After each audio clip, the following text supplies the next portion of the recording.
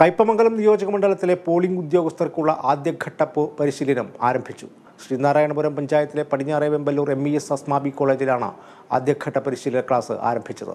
Binoy Ranjith E B Gokul O A Ullas K M Jude P M Dileef എന്നീ master ട്രെയിനർമാരാണ് class നയിക്കുന്നത്.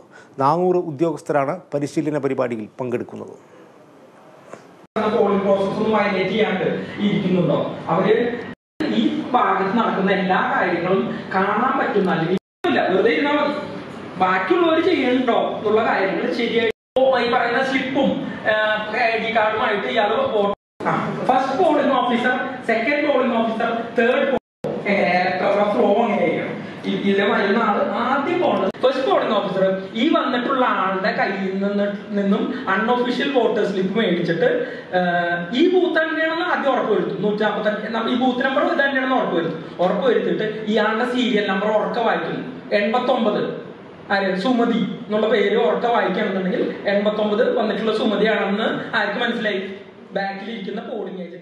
ആത്മബന്ധങ്ങൾക്കൊപ്പം സുവർണ മൂല്യങ്ങളോടെ Ramya jewellers golden diamonds Ramya arcade Ashtamichira.